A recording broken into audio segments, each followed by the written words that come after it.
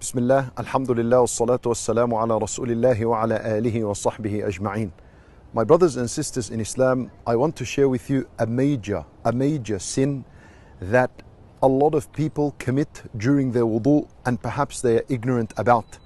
And this major sin, as-Sahaba radiallahu anhum fell into it until the Nabi sallallahu alayhi wasallam called them out for it and warned them and gave them advice. So, what is this major sin that could be done in al wudu? The story, it was found in a story, and this is a hadith sahih found in Sahih Muslim. And Nabi sallallahu alayhi wasallam and his companions were on travel, and they were returning to Al Madinah. So they left Mecca, returning back to Al Madinah. And as they're on the way, they reached an area where there was water, and they hadn't prayed Asr yet. So they wanted to make wudu and pray Al Asr. So time is running out. The hadith said, فَأَرْهَقَتْنَا صَلَاةُ الْعَصْرِ Time was running out.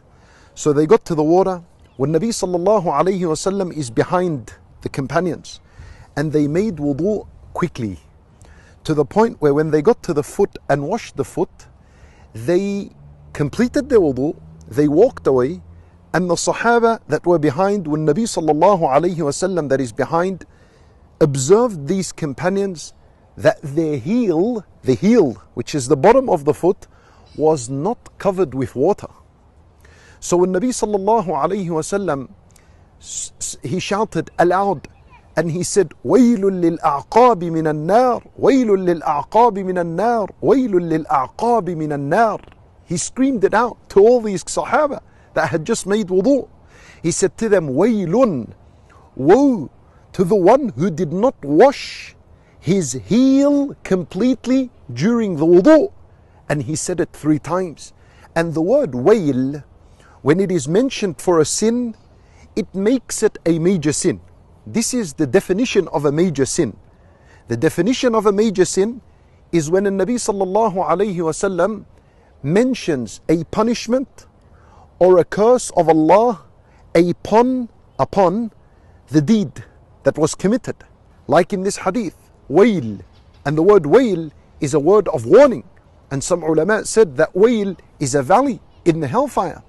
So the hellfire is for the person who did not wash his heel correctly when making wudu.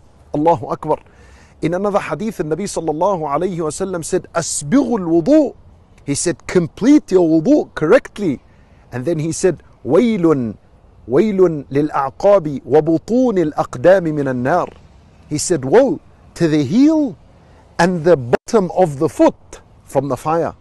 A person needs to make sure that his foot is washed correctly. And in another hadith, he said, وَيْلٌ لِلْعَرَاقِيبِ مِنَ النَّارِ وَالْعَرَاقِيب It's a plural of عرقوب, and عرقوب is the Achilles. It's that, uh, that ligament that connects the foot to the heel, that, that, that line. So you have the line, this is al-araqib, and then you have the heel, and then you have the bottom of the foot. This must be, you must be aware of this matter when you're making wudu. Make sure that you cover the entire foot with water. And also, the Nabi sallallahu alayhi wasallam, even though he mentioned the heel, it is not limited to the heel. Any other limb that is partially washed and some of it is missed, then the same warning is to this person. So if a person washed his hand and missed his elbow, then the same hadith applies to him.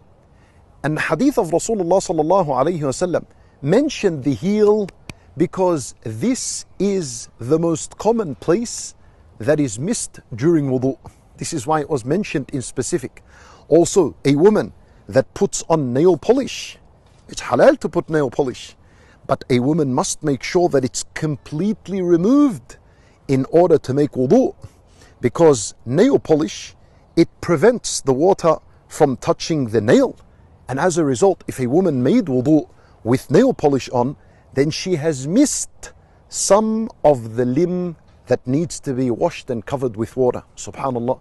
My brothers and sisters in islam these are companions companions that made wudu and they were on travel and they were about to miss salat al-asr and even and they would be tired even then the nabi sallallahu alayhi wasallam did not give them excuse And he said to them, Go and make your wudu again. The one who makes this type of wudu needs to make wudu again so that he, in order for the wudu to be correct and in order so he can pray with this wudu, subhanallah. Finally, my brothers and sisters in Islam, the ulama rahimahumullah, they said, if this was the warning for the one who did not complete his wudu correctly, then imagine the warning for the one who does not pray altogether. Allahu Akbar. Imagine the one who doesn't make wudu and doesn't pray, doesn't attend al masjid. Allah al-Musta'an. We ask Allah subhanahu wa ta'ala to forgive our sins. We ask Allah Azza wa to, to teach us and to give us the ability to perform our wudu correctly and to pray correctly. إنه ولي ذلك والقادر عليه وصلى الله وسلم وبارك على نبينا محمد وعلى آله وصحبه أجمعين